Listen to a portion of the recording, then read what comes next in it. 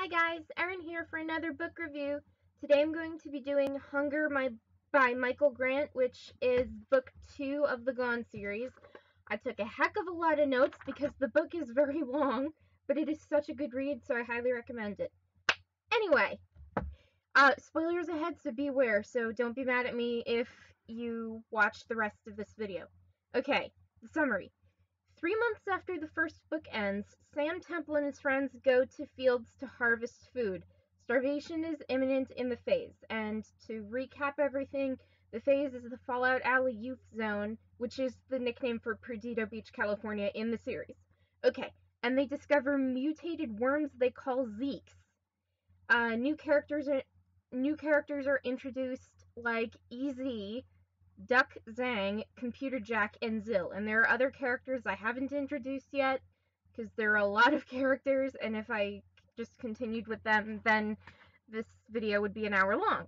Um, EZ dies, but I forget in which book. Uh, Duck is a mutant. mutant. Uh, Computer Jack is a Superman, strong intellectual with a, for, for a love for all things technology.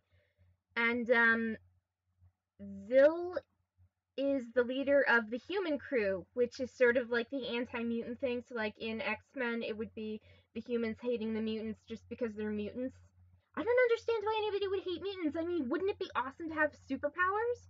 Like seriously. Um, and after Sam and his friends are doing their thing, Zil takes upon himself to make an example of some of the mutants. Uh, to prove they're normal humans are brave and not to be trifled with, he um, decides to torture and pretty much kill a lot of the mutants, which is very unfortunate. Um, they decide to go after Hunter, one of the characters who accidentally killed one of his friends. He isn't killed, but he does leave Perdido Beach, but not unharmed. Uh, we are also introduced to the Gaia phage. Gaia means life, and phage, I forget what that means. It's Latin for something. It's mentioned in the book anyway. Um, I'm not saying anything about what or who the Gaia phage is, but it will prove to be a problem for Sam and the others, and especially Astrid's younger autistic brother, Little Pete. Um, remember maybe in the first video how I said the Gone series was like X-Men meeting Lord of the Flies? Well, Zil is one of the mutant haters, like the normal humans in the X-Men series. And if I wasn't a mutant in the series myself, if I was in the series, I would so be a mutant lover and I would be hated for it anyway, but I'm used to being hated. Used to being hated, but I'm not gonna go into that. Um, I wonder what power I would have, but like with my personality and everything, my mom would say she, she actually read the first book. She told me that I would probably have like premonition powers or something.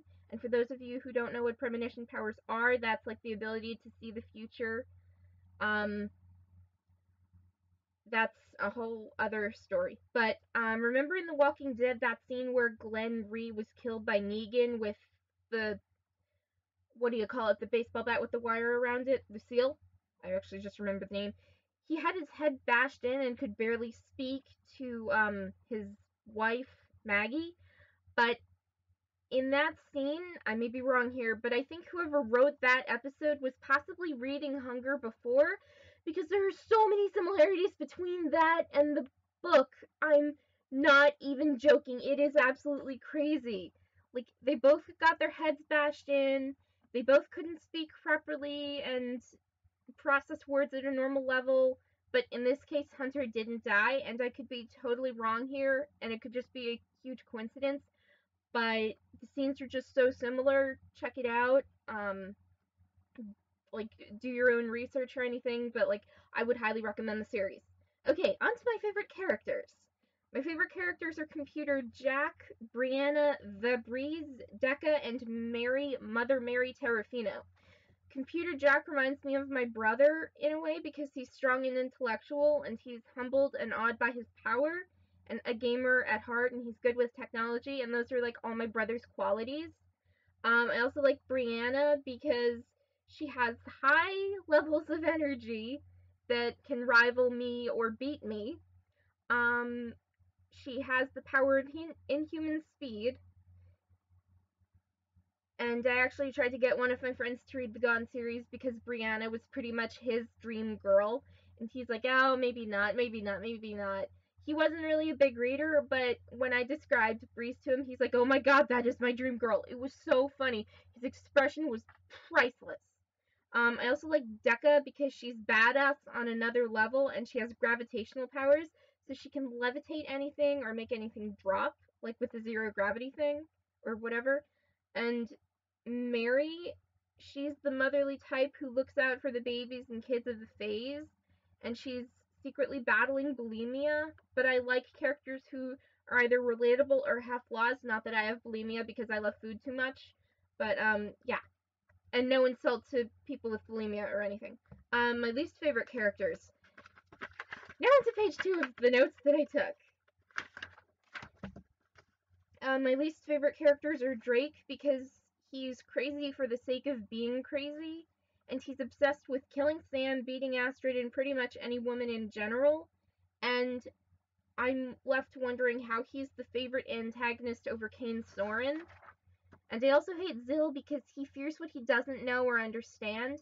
And I know it's human nature to fear the unknown, people say, and that gets on my nerves because well, that's another story for later, but Zil hated the mutants and wanted them to pay for their accidental so-called crimes, like Hunter accidentally killing his friends, and Zil wanted him to die. I mean, oh my god, that's just so much to handle, right?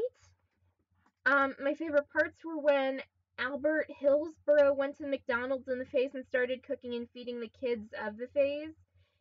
And I also liked the scene where Albert ran out of food in McDonald's and then turned it into the Mick Club, which was a dance club for the mutants and the normal, and Brianna got to dance around with her speeding powers. So as the scene was progressing, I was just thinking to myself, she's dancing around like completely nuts, like with her arms waving everywhere, her hair going all over the place, and that scene was just so funny. Um, my least favorite part was the scene where Hunter was put on trial and hung before the burnt down church by Zil and the human crew, and when he was banished from Perdido Beach, which was really, really sad. Because you would think in a situation like that, people would stick together after being through something that they've all, like, experienced. Um, also, the quotes I like superpowers don't always make you a superhero, says Beck Zhang.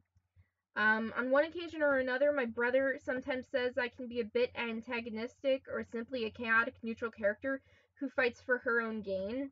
My gain, anyway. But that's like. I don't think I would be willing to kill anyone, but I definitely wouldn't want to not back away from a fight. I mean, I would. If I was in a fight with Duck, with, not with Duck, with uh, Zil, I would so punch him in the face. I mean, you just want to see him suffer. Um, two other quotes I like You can't be trapped by other people. You can only be trapped by your own fear. Defy and win. And the other quote She felt no pain. She saw no light. She heard, but barely. Her heart was still and silent, yet she did not die. That was about the character Brittany, who's pretty much the zombie of the FAYZ. And that's, I'm going to explain later, but that's it for today. I think I've talked your ear off enough, so have a good day, everybody.